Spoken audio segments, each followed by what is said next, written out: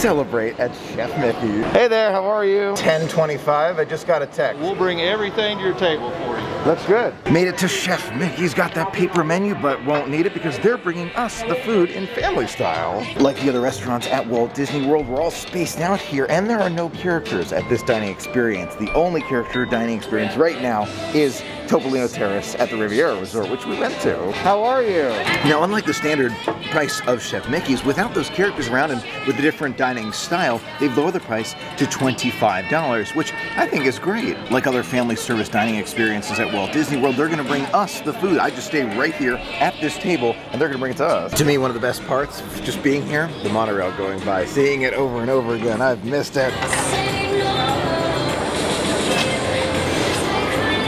I don't know if you've ever tried them. Oh, my god. Well, welcome to Chef Mickey's right here, the new version here. It is a family style service. We've got pancakes, Mickey waffles, sausage, bacon, eggs, potatoes, potato mash right there. Very good looking right there. She said it was delicious.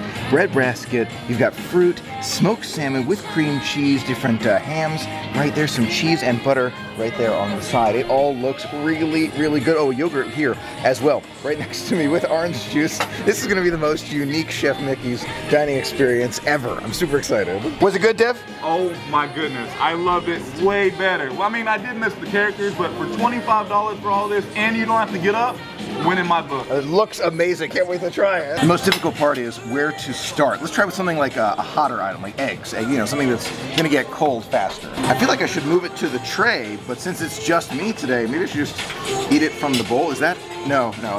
I'll put it on the plate. The eggs and meat tray right there, really good. The um, the meat in the middle is kind of like a sweet ham, super good. Now I was told these um, hash browns right here, kind of the mushed hash browns, are really really good. So let's give those a try. Michelle, my server, was absolutely right. Kind of like a cheese mashed potatoes right there. Wow. I'm gonna compare it directly to a tater tot right there. Between the two, the mashed potatoes right there with the cheese, definitely the better one. That's the one that I'd go for first. Tater tot's not bad, of course, but yeah, that's really good. Time for the pancake and waffle section. I have to admit, I love the music playing as we're eating here from Princess and the Frog. We've heard Phineas and Ferb and others, but so many good soundtracks.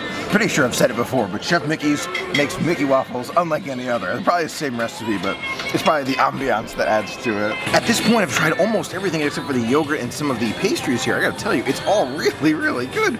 Smoked salmon, delicious. The salami and uh, cheeses. Right there, the block cheeses with that. There's one more piece of salami in there. That is super, super good. Of course, gotta love the Mickey waffles and these uh, potatoes and cheese. That's so, so good. That yogurt is super, super good. Now, last but not least, I'm gonna go back again, but I wanna give this one a try. This uh, circular pastry there. Cinnamon bun, very good. It is. It's all super good. I'm really, really impressed with all the food here. There goes the monorail. Gotta love it. I do miss the characters, no doubt about it. That's a big part of that, you know, Chef Mickey's. But with a lower price, great views, you know, really close to Magic Kingdom, I can see making this one a priority for the, I mean, priority throughout the time anyway, but during this time, especially making this one a priority just because the convenience, the great food, and nice atmosphere. Oh my gosh, there was French toast hiding underneath the pancakes right there. At this point, I am super, super full.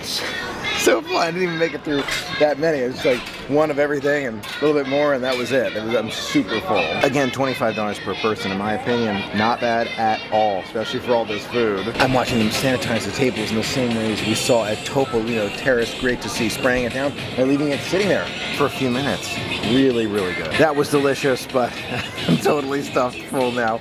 We're gonna get up, walk around a little bit, walk around a little bit, and uh, we'll see what's next. It's just so great to be back at Chef Mickey's. I know it's different, it's unique. We'll wait for our friends, all the characters to come back, but for now, it's a great interim solution. Now, since we're here, I was thinking about taking a quick loop around the monorail, but to take everything out of my bag for this new security check, the interim one where they gotta, you know, take everything out and put in a plastic bag, it's, it's a little bit difficult to do with all the metal in my backpack.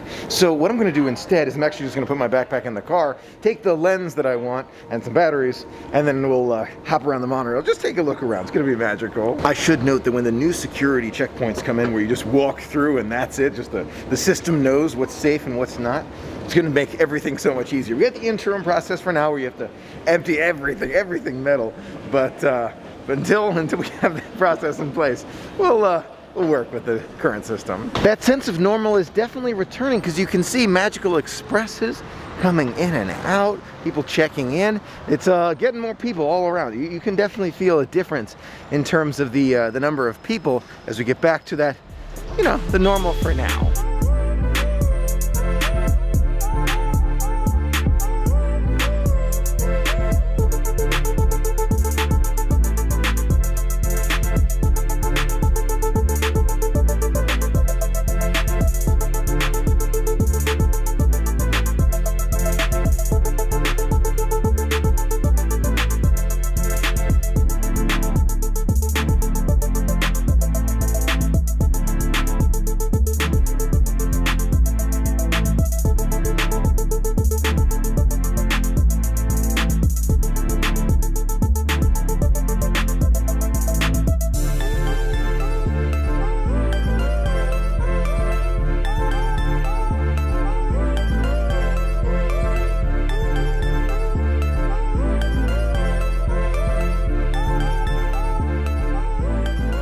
I can't tell you how much I love that. Just a ride around the different resorts on the monorail. I have not done that in like three and a half months, as long as it's been.